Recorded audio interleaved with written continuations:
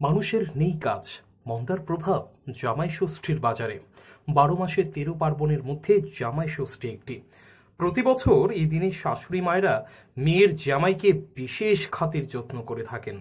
আতর আপ্যায়ন করেন, এতে শ্বশুর মশাইয়ের পকেট অনেকটাই ফাঁকা হয়ে যায়।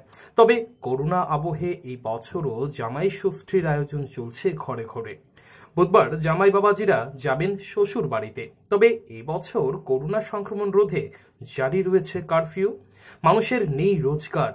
আয় উপার্জন কমে গেছে অনেকের, ফলে এর প্রভাব পড়েছে জামাই ষষ্ঠীর বাজারেও।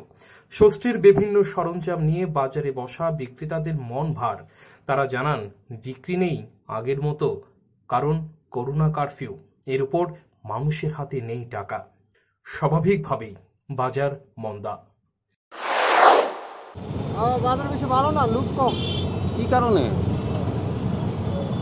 কারণে বলতে করোনা পরিস্থিতিতে মতো লুক এখন আর বেশি একটা খানার এবার ইয়ে নাই। লুক একদম বেচা কিনা এখন আগে হয়তো আগে অনেক বেচা বিক্রি এবার কাস্টমার নাই। লকডাউন আছে কিছু মানুষের হাতে পয়সা পয়সা করি নাই।